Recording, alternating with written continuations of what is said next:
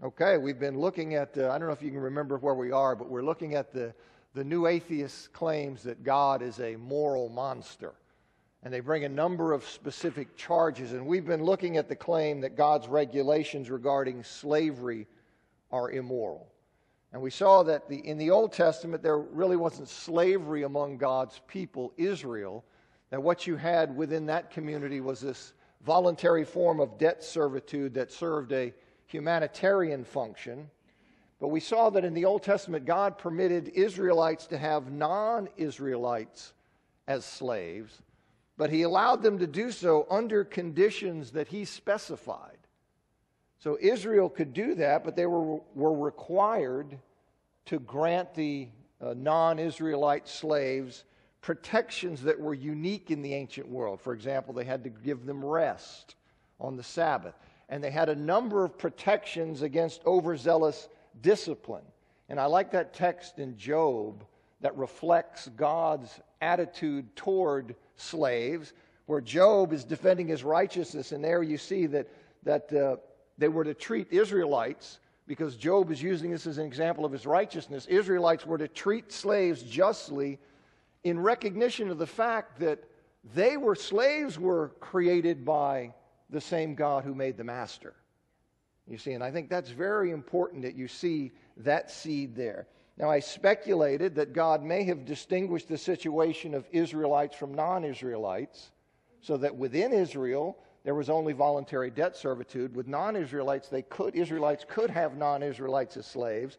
Why would God do that? And I, expect, I speculated that he may have distinguished the two situations in, in, with regard to this regulated form of slavery that he tolerated. He may have done that to emphasize the link between divine blessing and covenant membership. You see, it may be a way of saying, Do you see?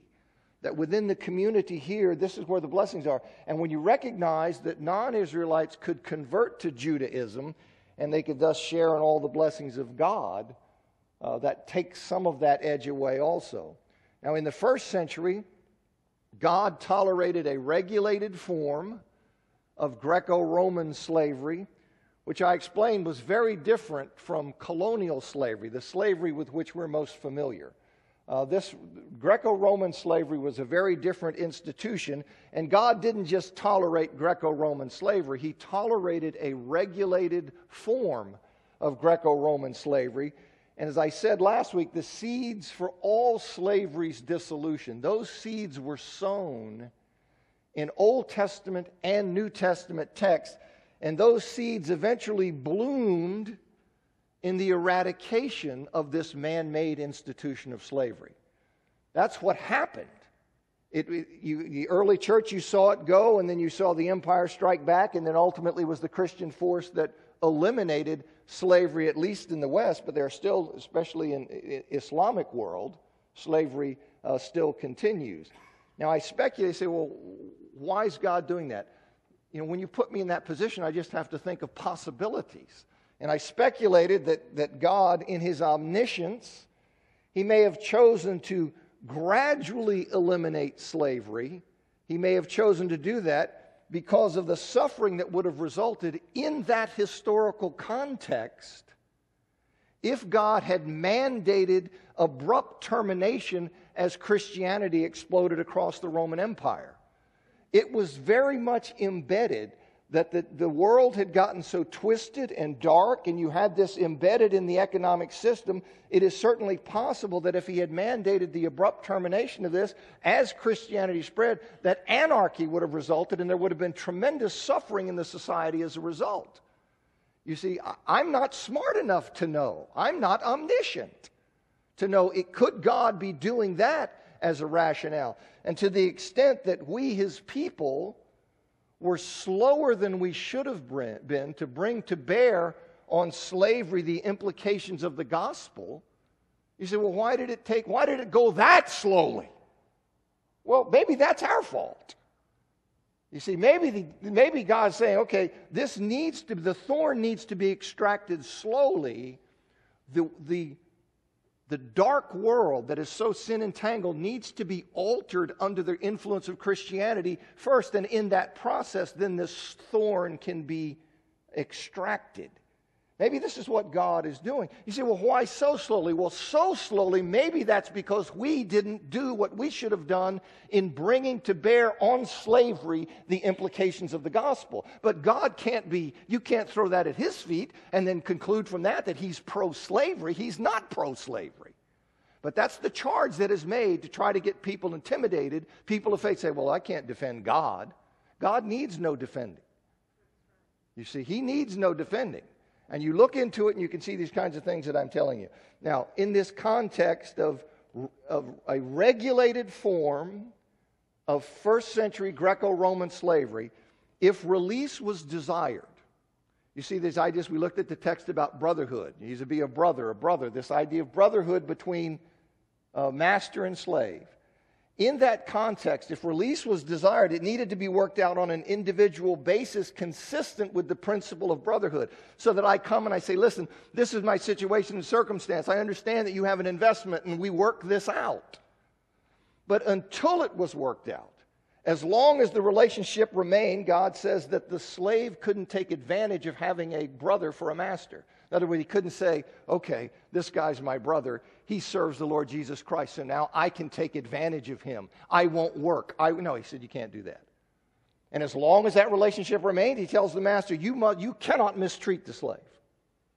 Okay, so that's, that's important. And then God tolerated, that, that God tolerated this regulated form of first century slavery does not mean, that does not mean that God would tolerate that same form of slavery, that regulated, altered form of first century slavery.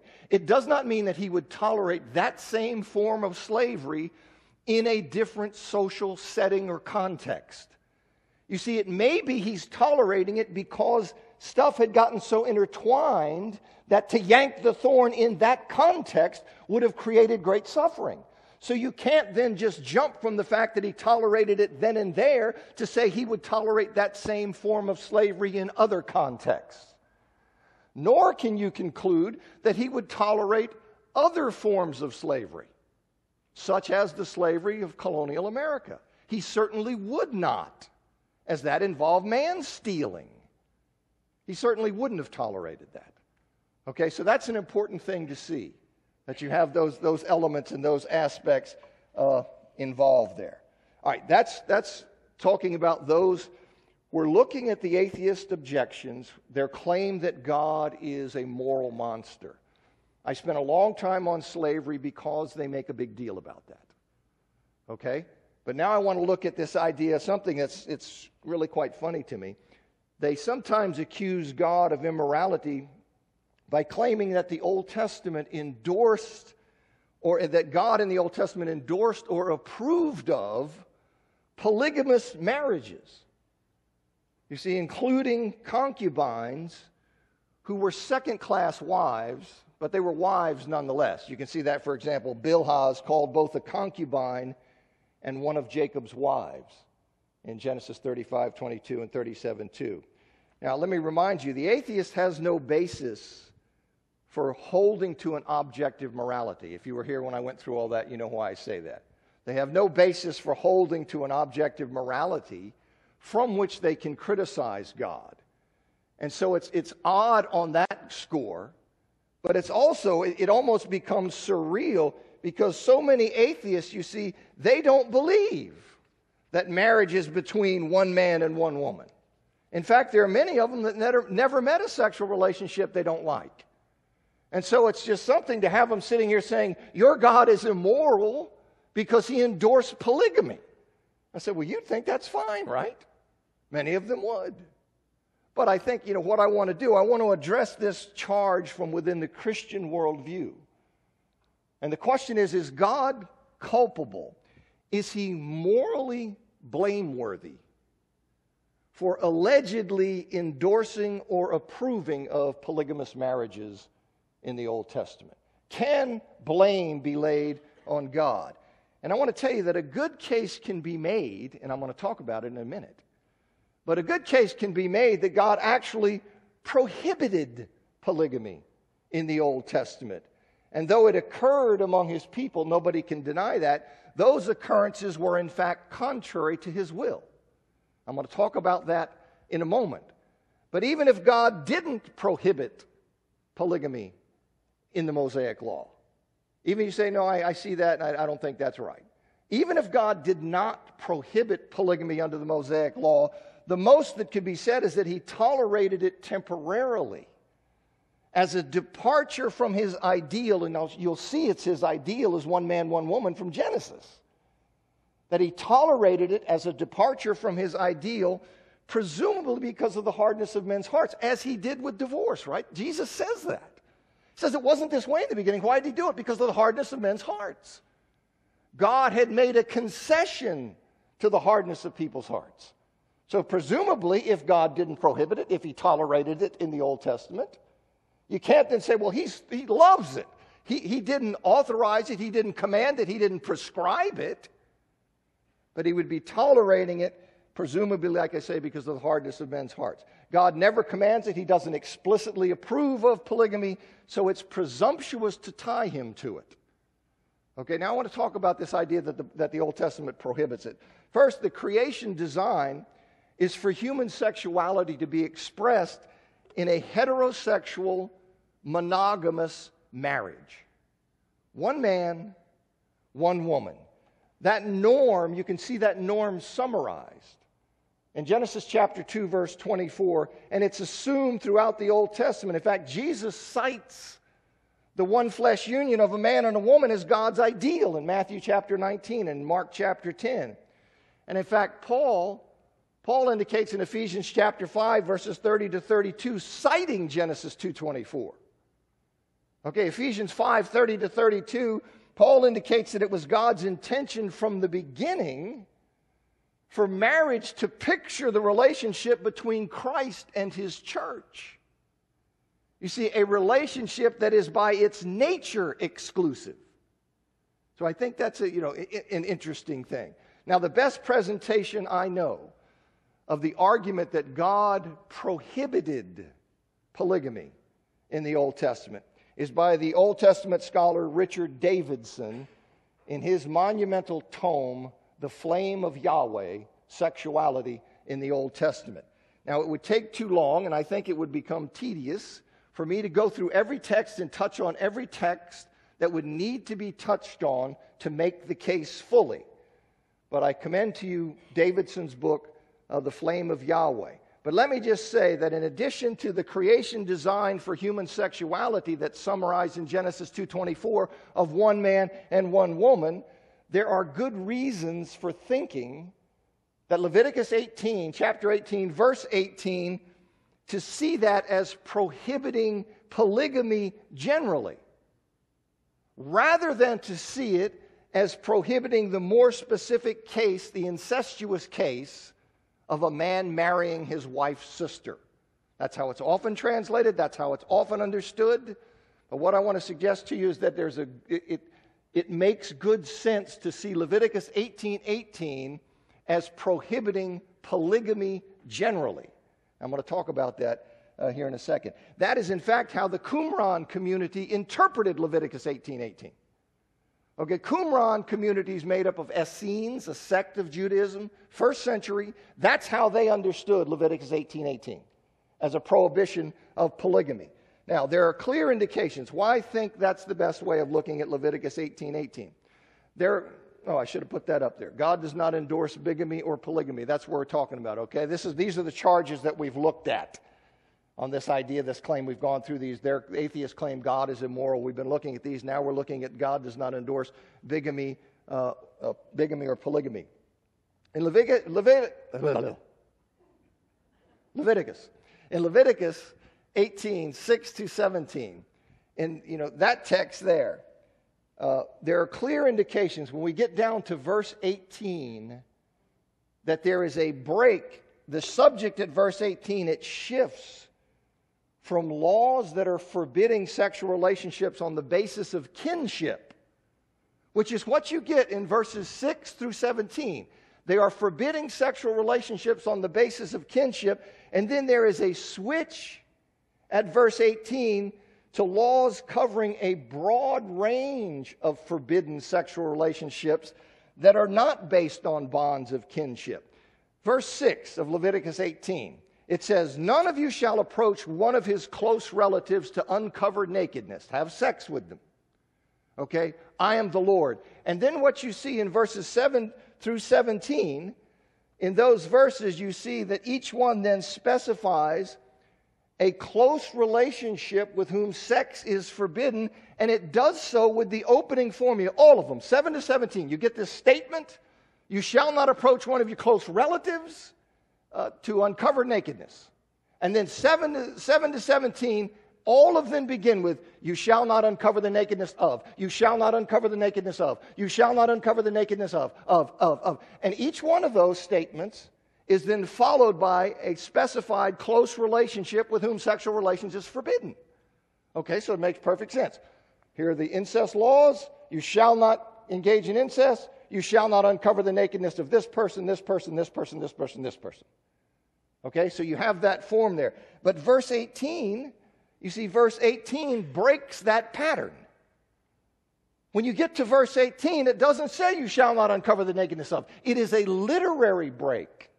You have this complete pattern, and then you get to verse 18, and it doesn't say that. It says, Thou shalt not take a woman to her sister. You see, thou shalt not take a woman to her sister. That's literally what the Hebrew says. That's the English Revised Version I, I quoted, just to show you that that's, that's what the Hebrew says, and that that version said it that way.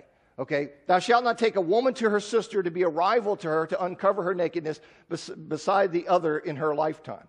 So you see why people, if they're continuing to read this as part of the incest regulations, why they would then say, okay, well, that means wife's sister. That's also one of the incestual, incestual relationships that we're to avoid. But no, there's that literary break there. It doesn't follow that pattern. You shall not uncover the nakedness of. There is a switch here and a break to this broad range of forbidden sexual relationships, not based on kinship. This phrase that is commonly translated wife sister that I've underlined there, literally a woman to her sister.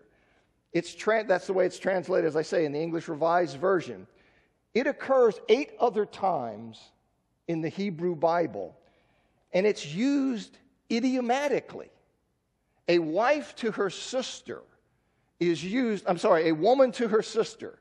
A woman to her sister is used idiomatically for one in addition to another. I'll give you an example.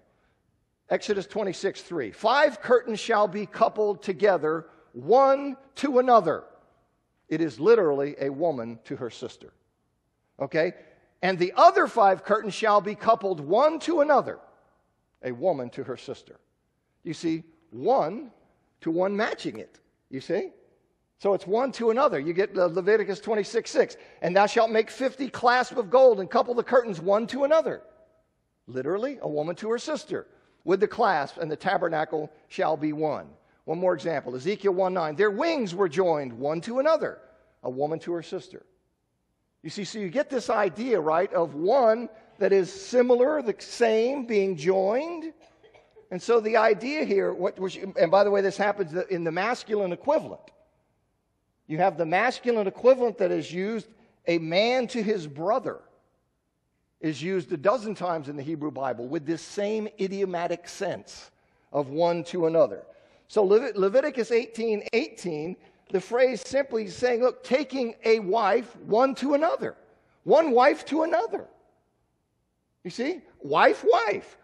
Uh, gold loop, gold loop. Curtain, curtain. So it's taking one to another, it means adding one. Let me here's how Davidson concludes this.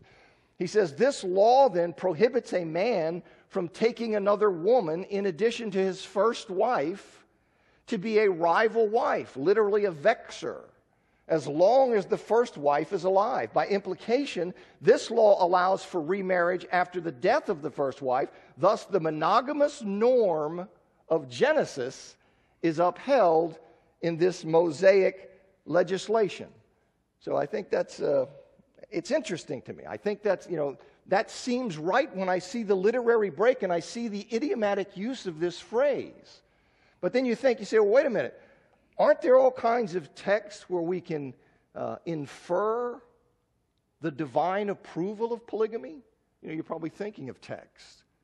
Okay, so we have first on the idea that God prohibits polygamy is this text in Leviticus 18 18.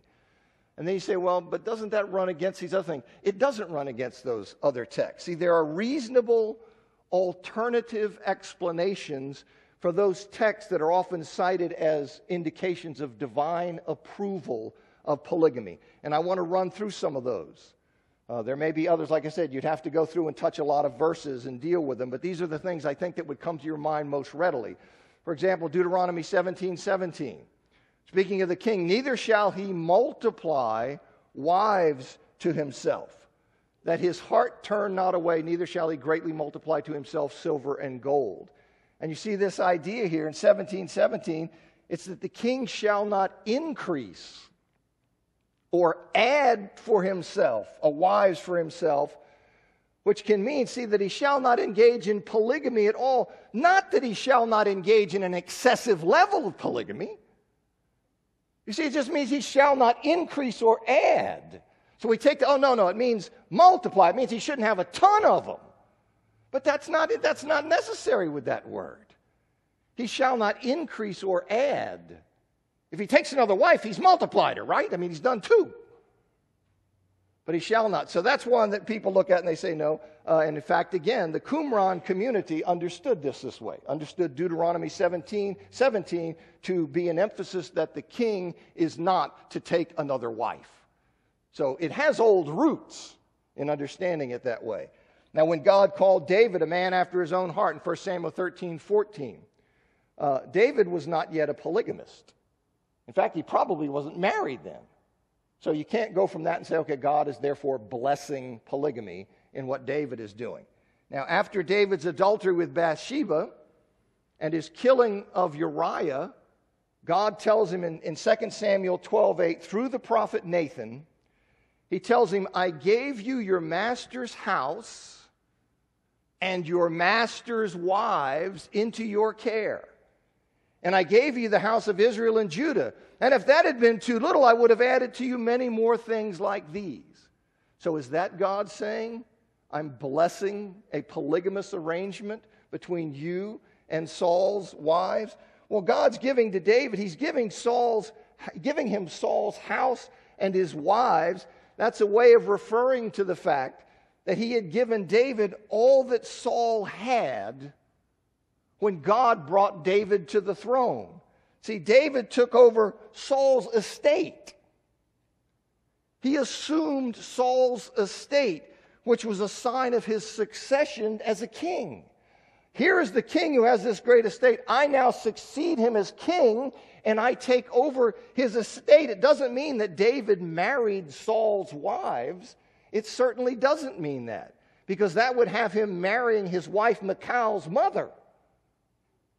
You see, if he did that, he'd then be marrying his, his, his wife's mother, which was incest condemned in Leviticus 18 17 and punishable by death. It does not mean that David then took these wives and married them and took them as his wives. It is a way of saying David has succeeded Saul as king and takes all of Saul's estate, all that Saul had.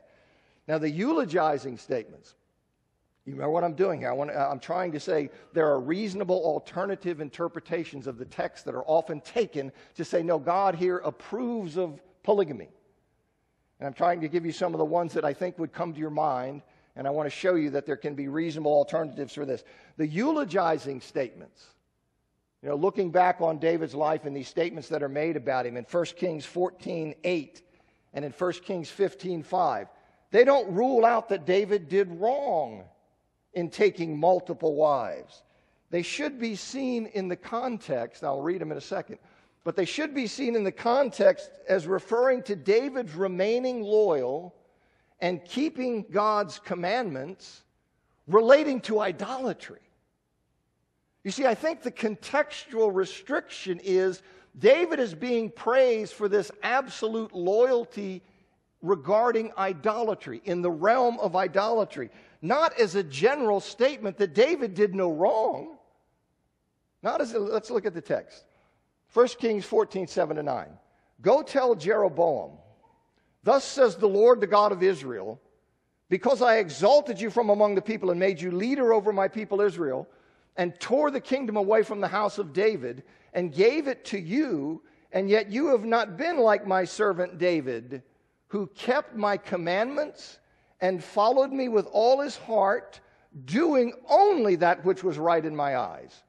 But you have done evil above all who were before you, and have gone and made for yourself other gods and metal images, provoking me to anger, and have cast me behind your back. You see, so we have this statement about David that we have here. Now, certainly David's conduct regarding Bathsheba and Uriah, God certainly isn't blessing that and sanctifying that conduct. When he says here, he followed me with all his heart and, and did only that which is right in my eyes, do you think God is saying it was, it was really good for him to, to take uh, Bathsheba and have Uriah killed? No, you recognize that there's some kind of restriction on the scope of this statement. Okay, what I'm suggesting to you is that the restriction is it is in the realm of idolatry. That David remained loyal there to God in that realm. You see, uh, that's where the writer's focus is. His focus is on the contrast between David and Jeroboam in terms of idolatry. Jeroboam was a notorious idolater. And so he's comparing Jeroboam, this notorious idolater, and he's not like David in that regard. You see, he's not like David in that regard. He was a rank idolater, whereas David followed God completely in terms of idolatry. Now you get a little trickier case here. Okay, 1 Kings chapter 5, verses 3 through 5. It says, And he, he's referring to Abijam, walked in all the sins of his father, he's referring to Rehoboam, all, all the sins that his father did before him, and his heart was not wholly true to the Lord his God, as the heart of David his father. Nevertheless, for David's sake, the Lord his, the Lord his God gave him a lamp in Jerusalem, setting up his son after him and establishing Jerusalem, because David did what was right in the eyes of the Lord and did not turn aside from anything that he commanded him all the days of his life, except in the matter of Uriah the Hittite. Okay, except in the matter of Uriah the Hittite. Now, verse 3, as I say it, this refers to Abijam walking in all the sins of his father Rehoboam. 1 Kings 14, verses 22 and 23, it reports the rampant idolatry that took place in Judah during Rehoboam's rule. So, right there at 14, 22, and 23, we got this description of the rampant idolatry that takes place during Rehoboam's rule. And then it says Abijam walked in the sins of his father, Rehoboam. So, we again have this idolatry context. We have this context uh, of idolatry. The reference to David's obedience seems to be focused again, you see, on the complete obedience to the commands relating to idolatry. Now, it's not as clear here. You got to go back to 1422 to pick up the context, but I think that's exactly what's going on. You say, well, wait a minute. We have this last clause here that says, except in the matter of Uriah the Hittite. Now, if in fact the intent was to restrict what's being talked about in terms of David's obedience, if it was to restrict it to the context of idolatry, well, then there would be no reason to accept from that context the sin of adultery and murder. You see, that seems to imply that the context is not restricted solely to idolatry. If it was, there would be no need to accept from that restricted context these sins because they're not included in that context, right? You understand what I'm saying? Okay, so what's the deal? Uh, then, it, then it sounds like what you're saying won't work. There is good reason to believe that this clause that I've just given to you is not in the original. That's why I have bracketed it. Good reason to believe that, you see. You say, well, do you just make this stuff up when you find things that are difficult to fit? Do you just make this stuff up? No, I really don't. It's not in the Septuagint. Well, that's significant, right? I mean, the Septuagint is the Greek translation of the Hebrew text from centuries before Christ. So when they were translating it, the text they were translating didn't include that clause. And that is the reason that nearly all scholars think that that clause that I've bracketed is an after the fact addition. John Gray, in his commentary, he says the Septuagint omits this clause, which indeed has all the appearance of a later gloss, and Simon de Vries, in his commentary, he omits translating it. When he's doing the translation in the commentary, he skips that clause. Mordecai Cogan, he says in his commentary in the Anchor Bible series, he says, because the phrase is lacking in the Septuagint, it is universally taken. So if you want to jump me on, I'm telling you, I'm in good company. It's universally taken to be a post Deuteronomic expansion, meaning a scribe stuck it in there because the scribe didn't appreciate the contextual limitation and said, Well, we got this notorious case of Uriah that's all over the Bible, except in the case of Uriah. So he didn't want anybody, so he sticks that in there. Here's what the Jewish Study Bible says on it.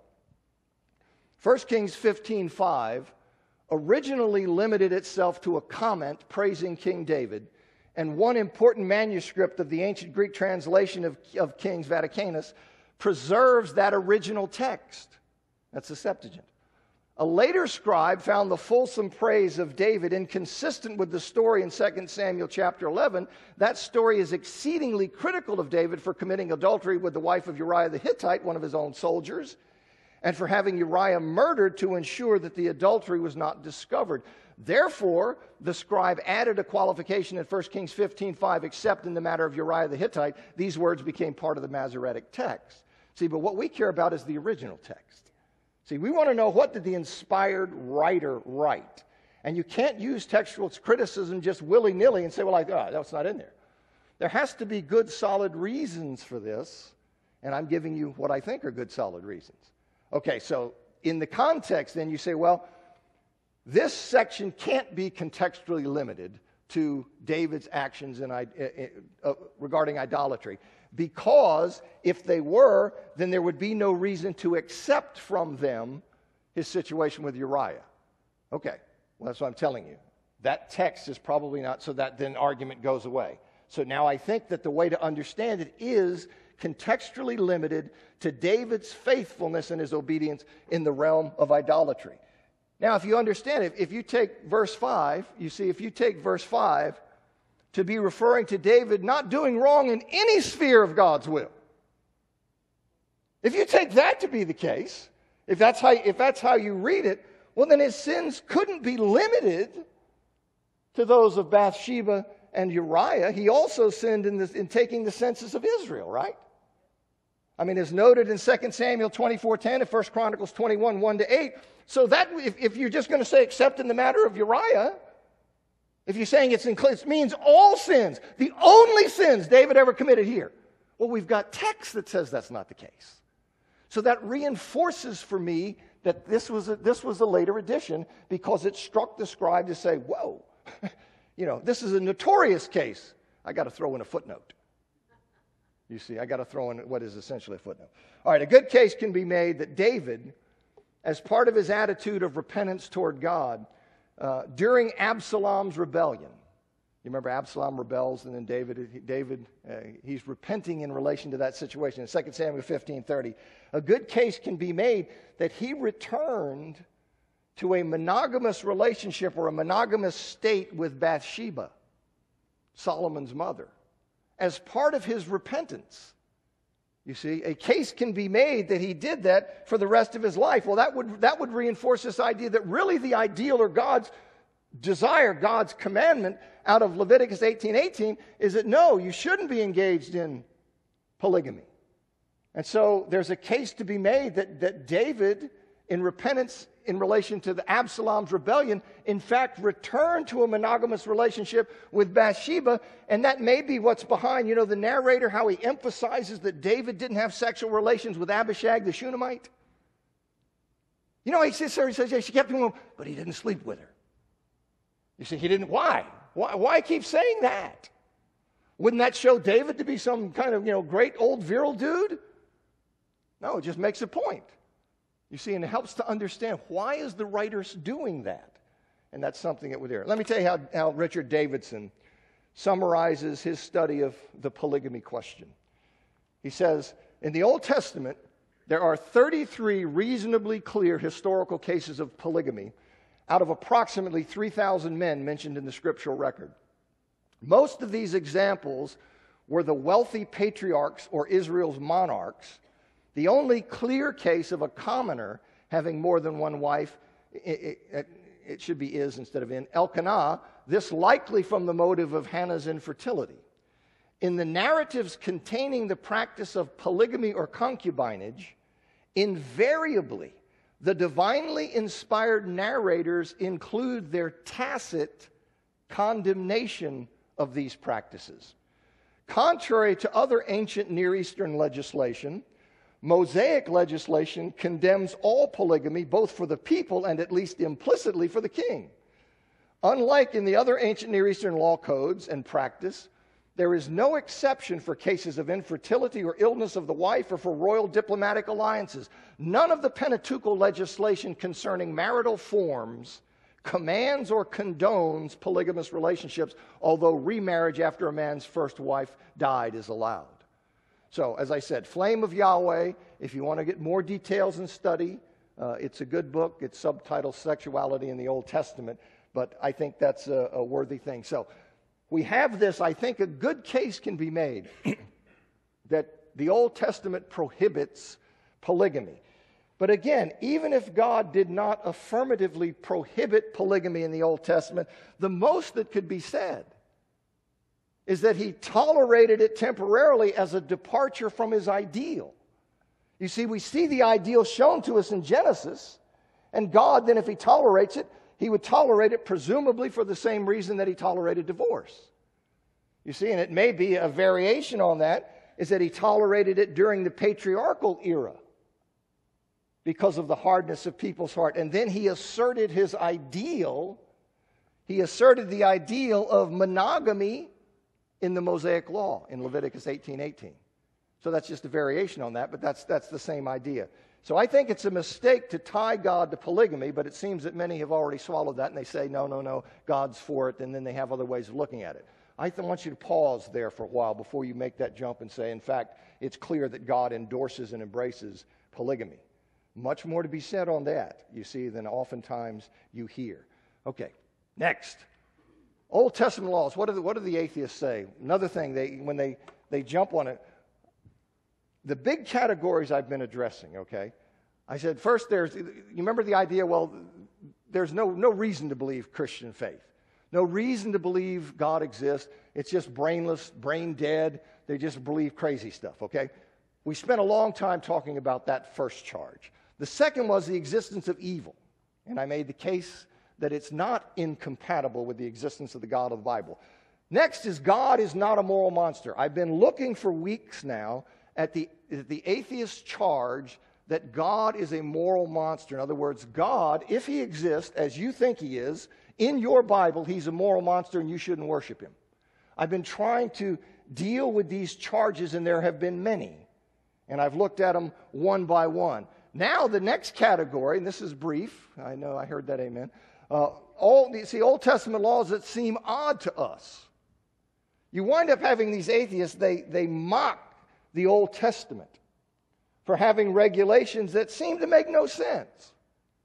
You know, uh, uh, uh come on, shellfish. All right, drives me crazy, but that's another story.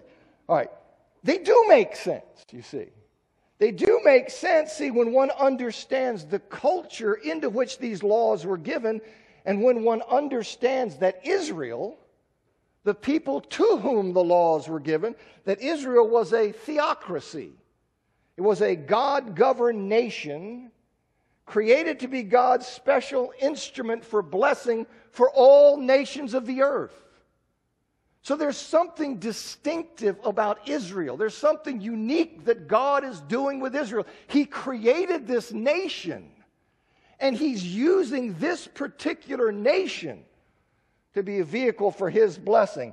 See, Israel's unique role in God's unfolding plan made Israel the object of some unique requirements. The food laws. The food laws and the regulations that you see against mixing different kinds of animals, different kinds of crops, different kinds of fabric, these carried symbolic messages. These carried symbolic messages in daily life about the boundaries God's people were to maintain with the people of other nations. These were like living parables, lessons, instructions. You have to be careful to separate and distinguish. This is very important. And so, in the context of Israel, these rules and regulations carried symbolic messages about the boundaries between Israel and the people of other nations. They were not to mix with the unclean beliefs and the practices of the surrounding nations.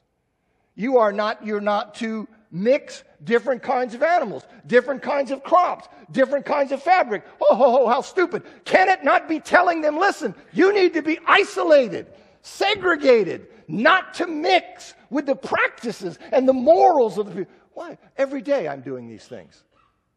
You see, it's brought into the warp and woof of my daily existence. God is teaching Israel through these things because Israel is special in God's mission. And the food laws, they also may reinforce other things. They may be teaching other lessons that they're to respect life, that they're not to be predators, that they are there to avoid conduct that reduces them to a state of helplessness. All of these implications have been drawn from the different food regulations that you see. So, for somebody who first knows next to nothing about theology, to sit here 2,000 years later and laugh at the Creator God for what He's doing and say, oh, this is stupid, makes no sense. That just blows my mind. The hubris, the chutzpah. I said, okay, I said, come on, man. You know, what planet are you on? How can you not see that? They don't see it and they just call you names. But so this is something. Now, the various regulations of ritual uncleanness or impurity. You see those things, right? These regulations about ritual uncleanness or impurity. See, which is different from moral impurity. These things are ritualistic, ritual contamination. Those things reinforce elements of God's holiness, His otherness. You see that. These things reinforce that. Bodily discharges related to sexual intercourse or to the cycle of birth and death.